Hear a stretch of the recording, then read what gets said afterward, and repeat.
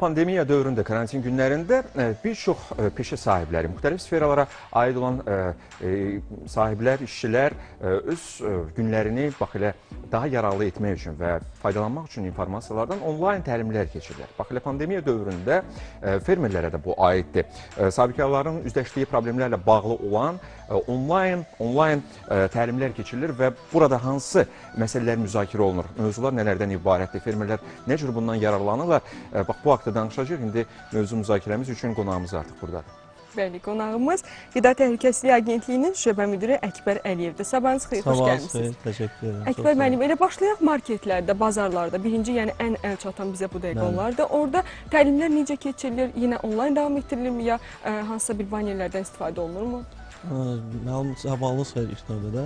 Məlumat üçün qeyd edeyim ki, Qida Təhlükəsizliyi Agentliyi tərəfindən bu dövr ərzində ə, müxtəlif ölkələrin təcrübəsi nəzərə alınmaqla ə, bu pandemiyanın, bu infeksiyanın ə, yayılmasının qarşısının alınması istiqamətində müxtəlif metodiki göstərişlər, maarifləndirmə xarakterli metodiki göstərişlər hazırlanmışdır və Respublikanın ərazisində fəaliyyət göstərən ərzaq məhsullarının ticarəti ilə məşğul olan bütün ə, ticarət obyektlərinə paylanılmışdır. Həm elektron formada, həm də kağız daşıyıcılar vasitəsilə.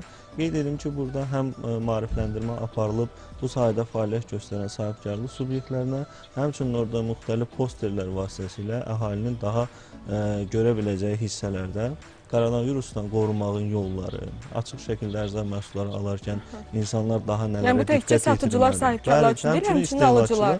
Sözsüz ki, burada ə, sahibkarlıq subyektləri ə, mühüm rol oynayır çünki onlar ərzaq məhsullarının satışı ilə məşğuldurlar və ə, əsas bizim burada apardığımız reydlər zamanı sahibkarlarımızı maarifləndirməkdir. Sözsüz ki, koronavirus, bu pandemiya, bu karantin rejimi bütün dünyada olduğu kimi Azərbaycanda da müxtəlif əhənlər gətirdi.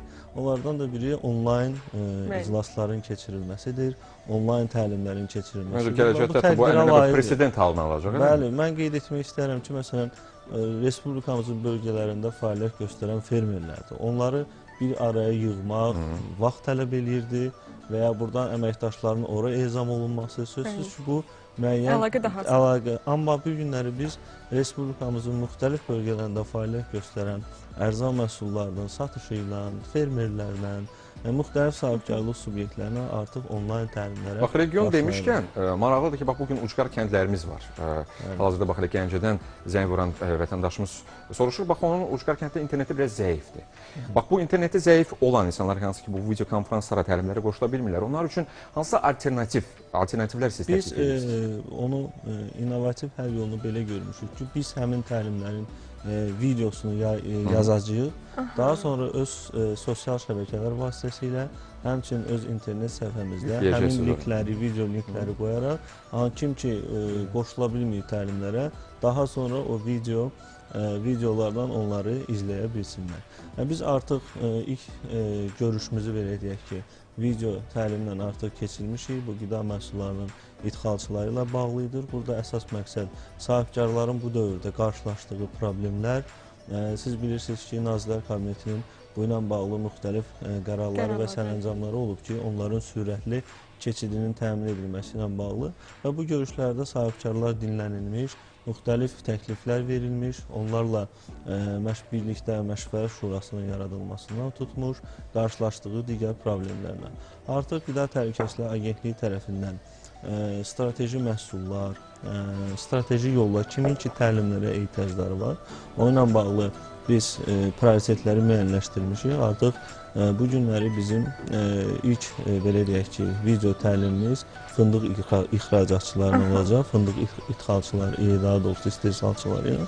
Bildiyiniz kimi fındıq Azərbaycanda strateji bir məhsuldur, kənd təsərrüfatı məhsuludur və Azərbaycan ə, Av- xüsusilə Avropa İttifaqında bu məhsulla sayılıb seçilən ə, dövlətlərdəndir.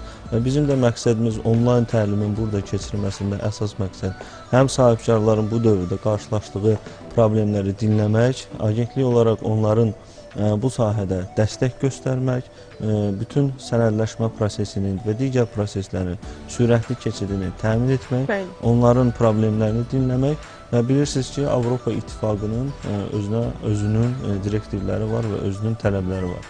Və sahibkarları həmin tələblərlə tanış etmək, Avropa İttifaqının tələbləri ilə tanış etmək. Bu öz yerində, amma problemli məsələlər, tutaq ki, indi bizim elə vətəndaşlarımızdan biri Şəmkirdən olan e, izləyicimiz sual verir ki, istixana şəraitində qoruma məsələləri ilə bağlı. Bax, onunla bağlı mövzular müzakirə oluna bilərmi bu konfransda? Sözsüz ki, video təlim açıq olacaq. Kim istəsə, e, hansısa fermer istəsə, həmin video təlimlərə qoşula bilər. Həmin təlimlərdə e, Qida Təhlükəsizliyi İnstitutunun təlimçiləri də iştirak edəcək.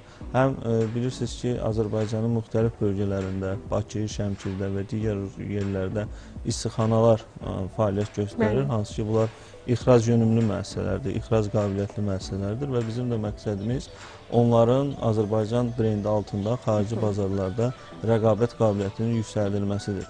Yəni bildiyiniz kimi hər bir ölkənin xüsusilə Avropa İttifaqı ölkələrinin, Rusiya Federasiyasının özünün idxal tələbləri var. Və biz bu idxal tələblərini elə e, istehsalçılarımıza e, belə deyək ki, o beynəlxalq standartları izah eləməliyik, öyrətməliyik ki, onların məhsulları e, xarici bazarlarda rəqabət qabiliyyətli Bəs bu müraciətlər hansı şəkildə olur? Deyirsiniz ki, məsələn, təlimlərə qoşula bilər fermerlər, sahibkarlar. Yəni siz əvvəlcədən gün təyin edirsiniz Bəli, bu təlimlər ki, barəsində? Bu təlimlər barədə əvvəlcədən günlər müəyyənləşəcək. Sahibkarlar Qida Təhlükəsizliyi Agentliyinin çağrı mərkəzinə 1300-ə ə, zəng edib ə, öz təkliflərini, həmin təlimlə bağlı məlumatları əldə edə bilərlər. Həmçinin də Qida Təhlükəsizliyi Agentliyinin sosial şəbəkələrdə olan hesabları vasitəsilə bu barədə izləməklə məlumat ala bilərlər. Xanım uğurlar sizə, çox sağ olun. Və həmçinin fermerlərə də uğurlar arzu edək ki, bu karantin günlərində müəyyən mənada bir az səbirli olub sonradan aktiv həyat tərzimizdə bütün bu problemlərin aradan qalxdığı bir dövrdə